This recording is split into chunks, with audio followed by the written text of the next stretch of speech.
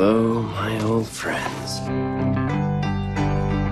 I thought about throwing them out, but uh, they just have too much sentimental value.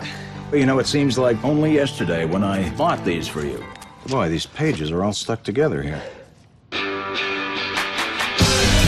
You guys are here for the reunion, huh? Hey, Kevin, is that what I think it is on your face? Oh, come on. Yeah, yeah, yeah. Jim? You don't remember me, do you? It's been a long time since I needed a babysitter. Kara? It's my 18th birthday tomorrow. You should come to my party. Oh, uh, that might be Please, I want you to come so bad. Let's make this weekend our bitch. Let's get a little lit. You better be ready. You better be ready. Let's The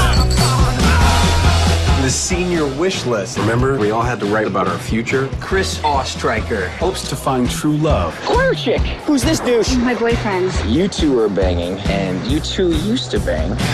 this must be awkward for all of you. Steven Stifler hopes to keep the party going with his boys. There's a smoking hot 18 year old girl that used to babysit. I'm not gonna cheat on my wife. I'm a father now. Be her daddy. Jim Levenstein hopes to have the sex life of Ricky Martin. You're probably having more sex than any of us. Probably.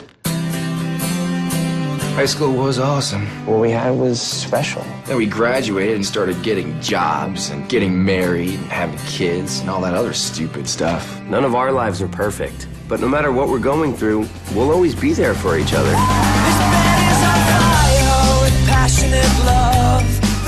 Were we just as obnoxious as these kids back in the day?